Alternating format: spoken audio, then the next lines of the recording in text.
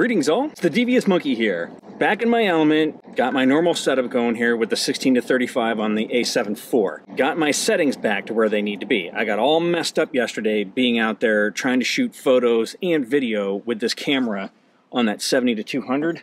So when I shot my portion in the studio for the end of the video yesterday, everything was all wonky because I had it at f22 which I had to put it on because it was so bright out and I didn't have an ND filter. So sorry for the shitty video yesterday, especially at the end there where it was all messed up. But okay, enough about that. Uh, I guess the Anton Bauer kit has been delivered, so I'm on my way to go pick that up right now. Like I mentioned, I forgot or wasn't even aware that today was an official holiday for my company and I scheduled all kinds of calls. I had calls on top of calls. I mean, people were calling me while I was on calls and it was crazy. So I had literally been on the phone since like 8:30 this morning. First things first though, I'm going to get this Anton Bauer kit, get home and get that battery charged. I'm at Great Neck Park where I always test all my shit. I'm going to throw it on my Mantis Pod contraption here and I'm going to walk around with it. I'm going to see how brutally uncomfortable it is and and see if it's just like, all right, that's just not happening. I, I just cannot walk around like that. This will be a I'll take it out, you know, if I'm going to be going out for a day and have it in here so I can plug into it, but I'm not going to keep this permanently mounted because this is insane. We'll see. All right, so I can tell you for sure that this battery is getting sucked down fast. It it has jumped now, and and that's the thing that concerns me. It it was at six something, then it jumped up to over seven, then it went down to 634. Now it's at seven. and There, it just jumped to 656 it's all over the place. It is going everywhere telling me how much time is remaining, and that in itself is kind of concerning. You know, you're supposed to get like 12 hours or 20 hours or whatever the hell it is. That remains to be seen. This is heavy. It's reminiscent of when I had the A7C and the 24 to 70, the Sigma 24 to 70, and I was walking around with it on my setup and I thought to myself, there's no way that I could continue to do this all the time. This is really crazy.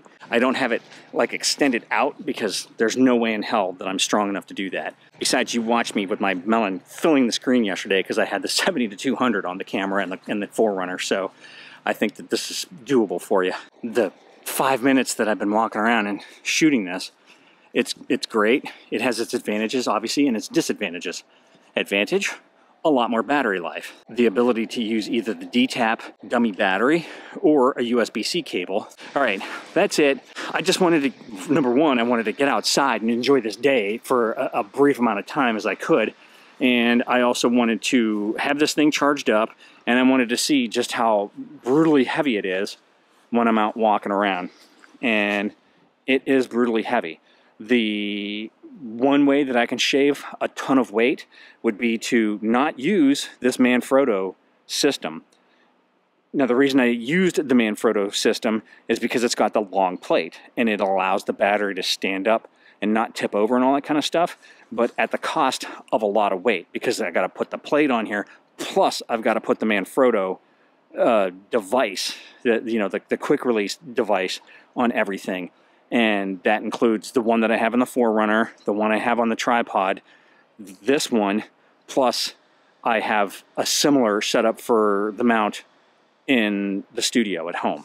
So I could either continue to use it this way, or I could decide, screw this, it's way the hell too heavy, and it's not worth the fact that I just don't want it to tip over. Okay, a quick addendum.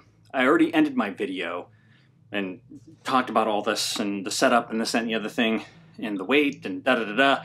But I ended up not liking how heavy it was. So what I did was I switched away from those Manfrotto quick release mechanisms and mounts, like with the plate and everything, and went back to the like the Peak Design Arca type little square things, including the PGY Tech. Now the PGY Tech plate is underneath the Titon battery. That's where that's going to stay. As far as everything else, I switched all the tripods back to just being the Arca type. Uh, that weight was just too much, just way too much weight. And I knew that I was not going to be comfortable with that. So now it's all back to this, again, this like peak design Arca type plate, the little square plate. Everything is put back together in a more beneficial way to the flow. That's good enough for me. So at this point now, The other thing that I did was I took the dummy battery and popped that up into the A7 IV and have that running over to the one D-tap that is turned in such a way that the cable goes up instead of down, making it lopsided.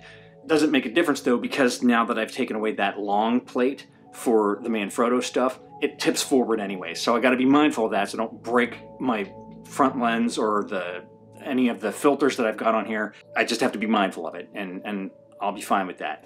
Knock on wood. It shows me 6 hours and 50 minutes of battery life on the Titon and I'm at 99% on the battery and that's after uh, using the USB-C cable that was plugged in there. And again, the reason that I didn't like that USB-C setup is because it stuck out and blocked the screen, which seems kind of pointless for me of having a screen. And I'm not going to hook up an external monitor to this because I'm trying to keep the weight down.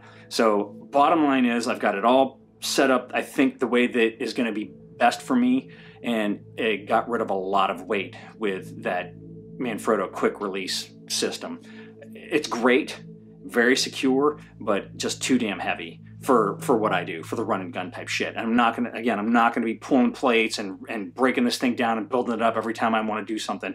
Just doesn't work that way. So I'll end the video again, even though I already ended it once by saying that's all I've got for you today. If you have any comments, questions, or suggestions, leave them down below. As always, thanks for joining me. Be sure to like and subscribe. And remember, kids, forward and up.